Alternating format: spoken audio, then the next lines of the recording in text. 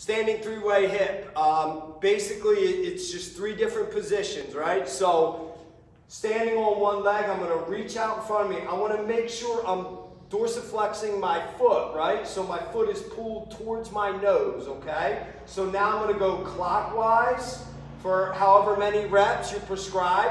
Then you're gonna go counterclockwise. Then we're gonna go out to the side. I'm gonna do the same thing. I'm gonna go desired amount of reps one way, back the other way, all right? Last position is I'm gonna bring my leg behind me here. Same thing, I'm pulling my toes up. I'm gonna go clockwise, then I'm gonna go counterclockwise. And of course, you're gonna do both sides. And again, these are gonna be um, higher amount of reps. You're gonna feel it, of course, a lot in the hip, but also that ground leg, right? So lower leg, you're gonna feel a lot of uh, fatigue in your calf and stuff as you're trying to stabilize on these.